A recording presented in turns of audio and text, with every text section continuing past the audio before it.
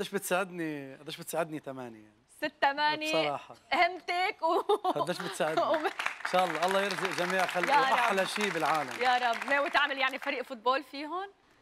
بحب العائلة الكبيرة لأنه ربينا بعائلة إيه. كبيرة وأهلي ربوا بعائلة كبيرة ويعني كل الأمور كانت دائما في جمعة على الأكل في جمعة بالنوم في جمعة بالربيت وبحب هيك يعني. ما بحب يكون عندي والله ولد ووقفنا خلاص ما بتزبط. في حدا صوته هيك طالع بذرة صوت حلوة علي عنده حس فني ما بحس بيطلع له صوت بيطلع عنده صوت بس بحسه أذن ب- بحب؟ ال- بحب الوتريات كثير وبحب الإيقاع وبحبه مم.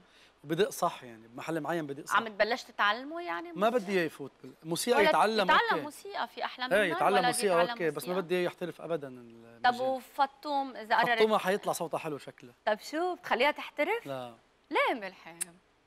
شو لا؟ طب. إنه تخيل أبداً. مثلا هيك ماخذه بحة ملحم زين وعم تغني بهالرقي وبهالاحترام، شو المشكل؟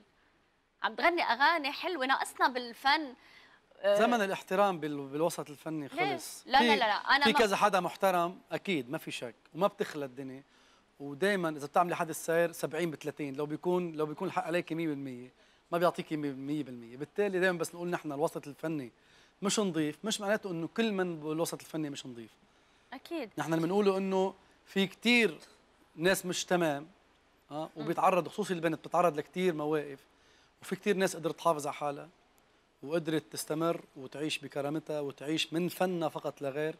ما في شك بهذا الموضوع إنما آه، مش واردة عندي كبنت يعني مش واردة عندي. لو بيكون صوتها مثل أنا عندي أخت صوتها مثل مثل مين؟ مثل الملائكة يعني. صدقا حرام. بتعرف مع صوت كتير حلو. ربنا بيجازيك بس إذا من محجبة وتجوزت وعايشة ببيتها وعندها ثلاث أولاد. يعني ما ما عندنا هذا ما ما ببيئتنا ما في هذا الموضوع أبدا. البنت اللي بتغني يعني مش مقبولة؟ لا.